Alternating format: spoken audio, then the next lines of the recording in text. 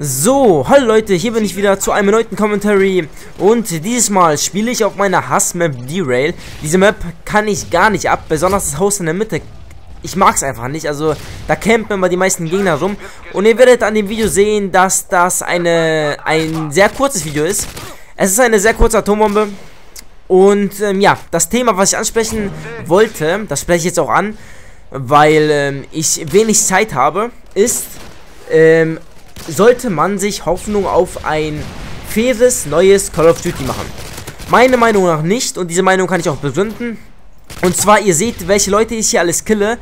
Hier, schaut euch das an. Ich meine, denkt ihr, Leute, denkt ihr, diese Leute kaufen sich das Spiel, wenn sie diese unfairen Mittel nicht haben? Und, ähm, diese Leute, es sind halt leider 80% der ganzen Spieler.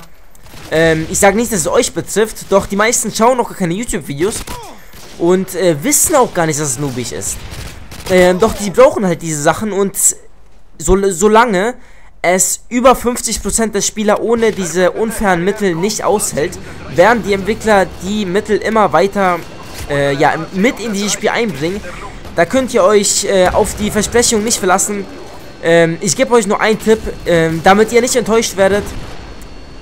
Bitte glaubt nicht an ein äh, super cooles neues Call of Duty. Es könnte sein, dass äh, irgendein Zufall auf irgendeinen Zufall passiert, aber bitte verlasst euch nicht drauf, denn ähm, ja, je mehr man sich darauf verlässt, desto mehr wird man enttäuscht zum Schluss und desto saurer wird man.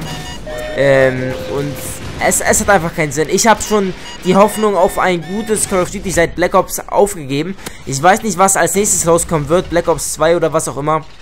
Ähm, auf jeden Fall, ich lasse es auch mal einfach auf mich zukommen, werde es mir trotzdem wahrscheinlich holen. Ähm, ja, die, das, die ganzen Aufschläger bringen gar nichts, weil die, das interessiert die Entwickler nicht. Die wollen einfach nur das Geld machen und so bekommen sie es halt. Und Schreibt mir bitte eure Meinung in die Kommentare und das Video ist leider vorbei. Tut mir leid, dass es nur so kurz war, doch dieses Gameplay war halt nur so kurz. Und bitte gebt einen Daumen nach oben, falls euch das Video gefallen hat, denn ich habe im letzten Video gesehen, dass die ganzen Daumen nach oben mir ziemlich weitergeholfen haben. Außerdem sieht man nicht immer so eine kurze Nuke auf D-Rail. Ansonsten könnt ihr meinen Kanal abonnieren, falls ihr mehr von mir sehen wollt und schaut gelegentlich auf meinem Facebook vorbei. Bis zum nächsten Mal. Ciao!